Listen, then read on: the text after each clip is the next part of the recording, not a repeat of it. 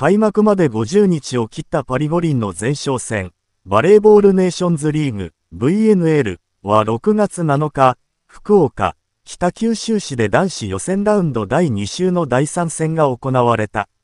世界ランク4位の日本代表は、同1位ポーランド代表と対戦し、セットカウント0対3、17から25、15から25、20から25で敗れて1周目からの通算成績を5勝2敗とした。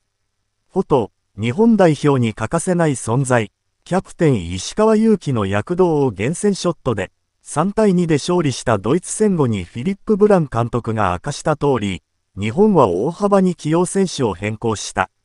負傷によりセッターの関田正宏とミドルブロッカー、MB の高橋健太郎がメンバー外。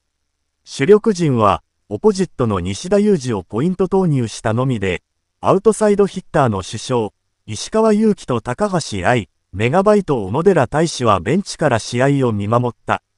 前回大会の対戦2回はいずれも日本の黒星。予選でストレート負けを喫した後再戦となった準決勝はセットを選手するも、1-3の逆転で決勝進出を阻まれた。その後、ポーランドは米国を下して優勝。日本は3位決定戦でイタリアを倒して銅メダルを獲得し、46年ぶりに世界レベルの大会で表彰台に立った。ポーランドとの対戦成績は1勝18敗の日本だが、世界1位のバレー大国もその止まらない躍進に脅威を感じているようだ。主力同士の真っ向勝負を予想していた同国の複数メディアは、偉大な公敵手との大一番、臨戦態勢、注目の一戦、と試合前に報道。中でも、中継を担ったスポーツ専門チャンネル、ポルサットスポーツは、世界の舞台で肩を並べるライバル、と日本を称した。